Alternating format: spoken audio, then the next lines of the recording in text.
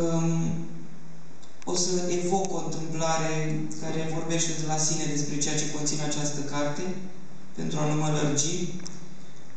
Se făcea că într-o celulă era un țăran și cu un doctor.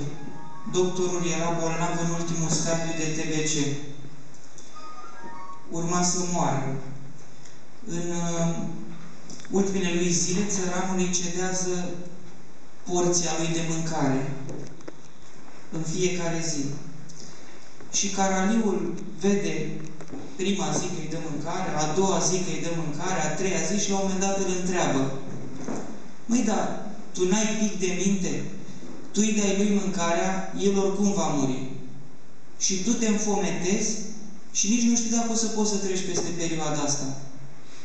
Atunci țăranul pleacă capul în pământ și spune, da, dar n-aș vrea ca după ce moare să creadă că nu l-a iubit nimeni.